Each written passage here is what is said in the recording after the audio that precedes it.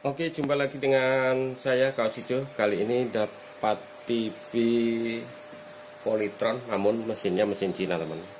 Nah, ini katanya tidak bisa masuk ke channel TV, jadi bisanya hanya di AP. Dia tidak bisa masuk ke channelnya. Oke, kita coba hidupkan, teman.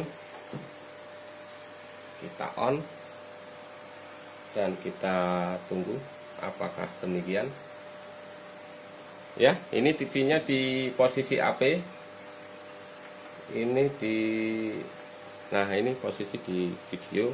Kemudian menu untuk masuk ke AP-nya tidak ada karena di sini tombol keypadnya tidak dipasang untuk ke AP-nya akan saya pergunakan memakai remote berarti orangnya tidak memakai remote teman.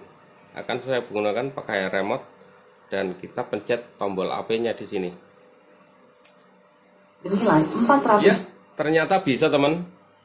Hanya tidak uh, pada posisinya tidak pakai remote. Nah, setelah pakai remote ternyata bisa. Nah ini. Kemudian dia hanya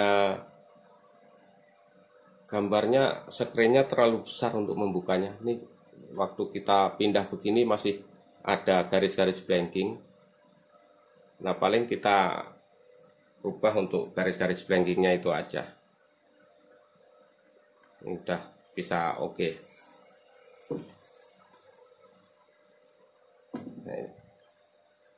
dan suaranya juga sudah oke okay. nah ini Oke, itu saja teman. Jadi TV tidak bisa ke uh, program channel, bisanya hanya di AP.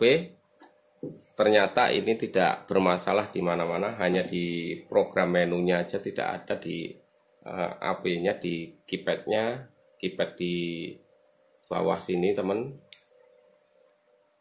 Nah, di sini tidak ada teman untuk tombol AP-nya karena hanya 5 di sini. Volume program kemudian menu. Untuk AP-nya tidak ada. Dan akhirnya saya punya remote TV Cina dan saya masuk ke AP bisa dipergunakan kembali. Oke terima kasih sahabat kaus hijau itu saja hanya sedikit. Mudah-mudahan bermanfaat